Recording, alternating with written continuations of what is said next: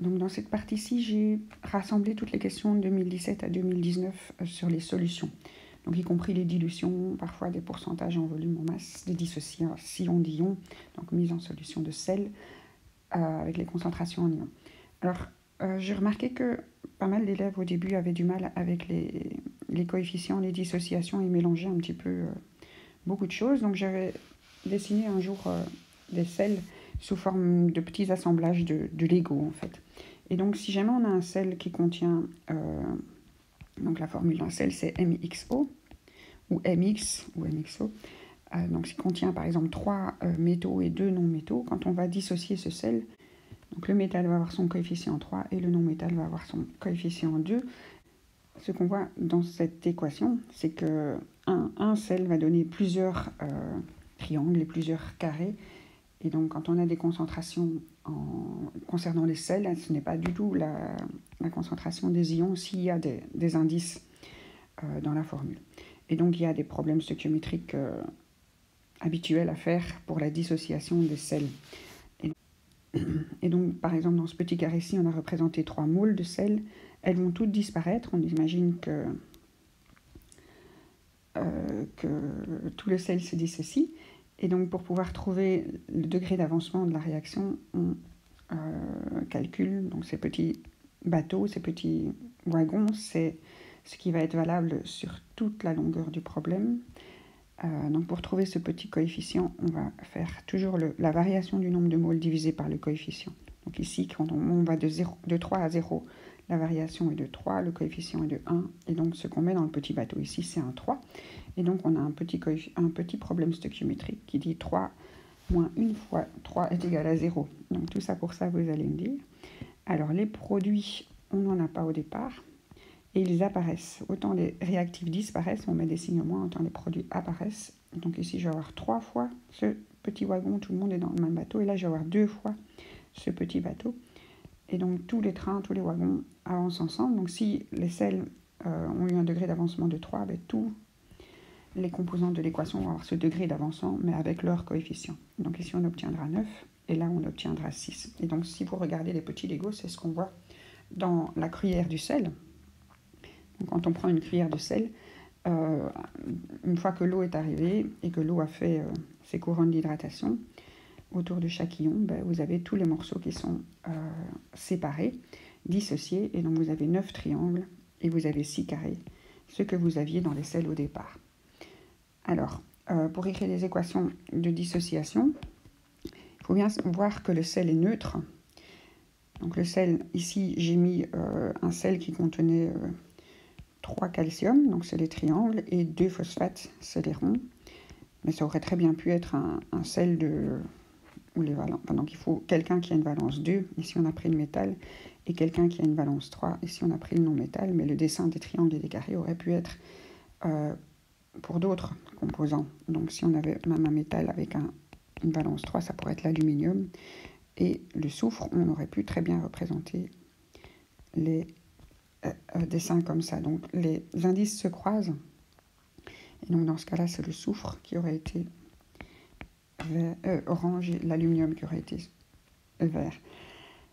Ok, donc pour écrire les équations de dissociation, donc l'eau est toujours un catalyseur, elle n'est pas un réactif, contrairement à l'ionisation des acides. Et donc ce qui se passe, c'est que les indices deviennent des coefficients. Donc les indices deviennent des coefficients.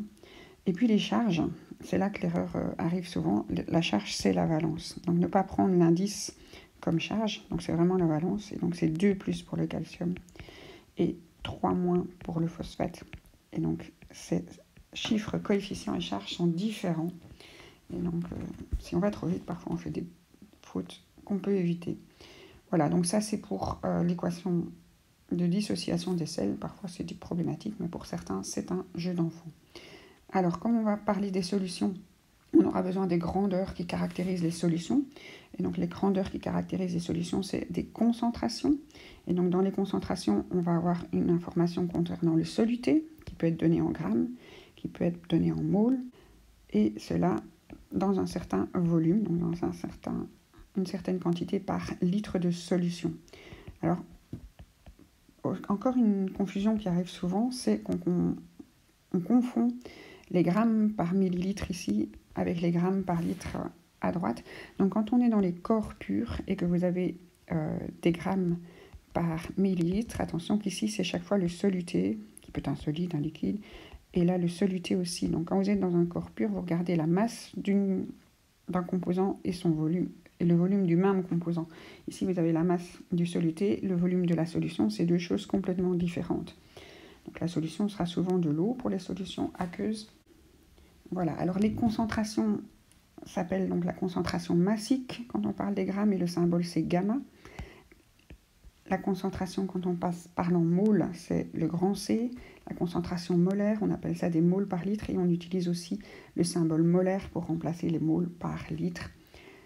À ne pas confondre avec la masse molaire, qui elle est un, un symbole de grandeur et le molaire de la concentration molaire est un symbole d'unité, donc se met après des chiffres et pas devant un égal.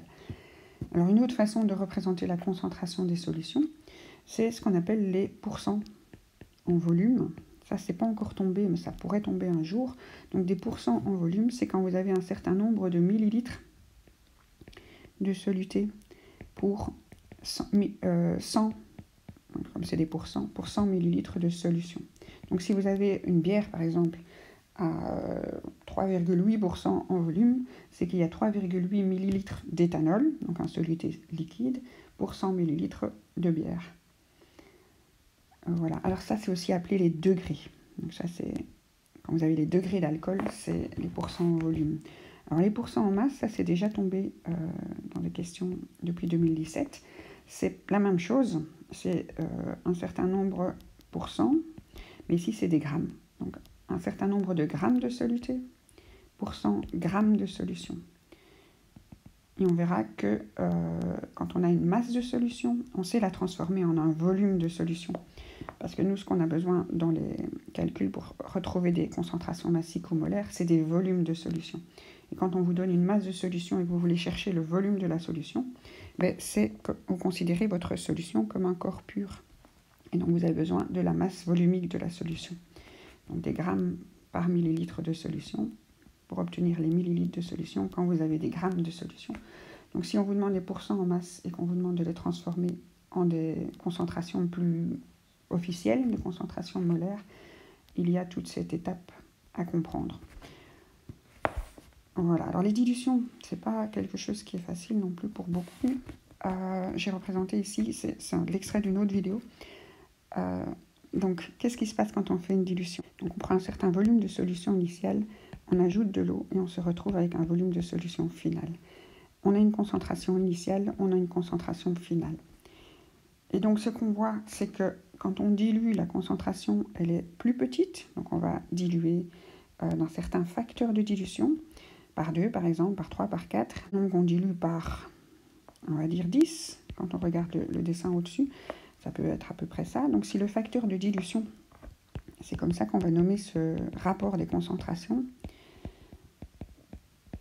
si la, si la, concentration est divisée par 10, le facteur de dilution, on appelle ça 10 fois. On dilue 10 fois.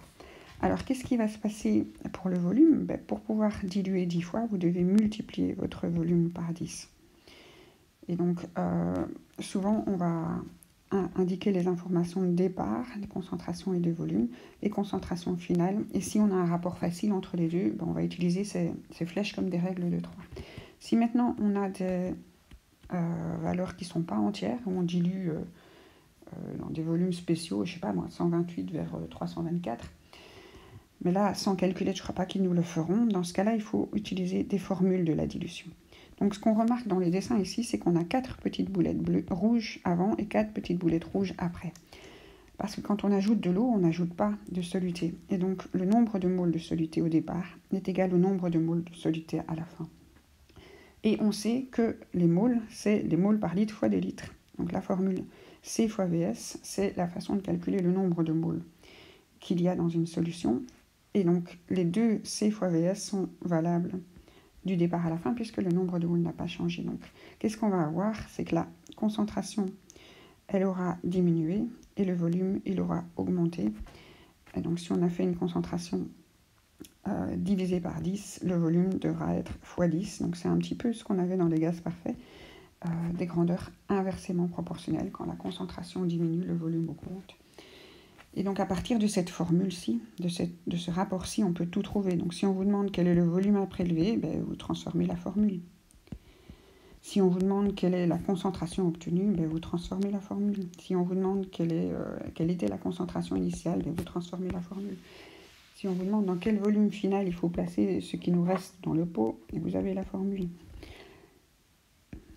Donc vous avez transformé la formule dans tous les sens. Voilà pour la théorie. On s'attaque aux questions.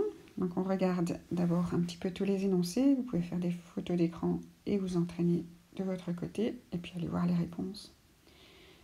Donc il y avait une question en 2017, deux en 2018, non, trois en 2018, en juillet 2019. Voilà la première. La deuxième en juillet 2018, 19 et, et deux questions en septembre 2019.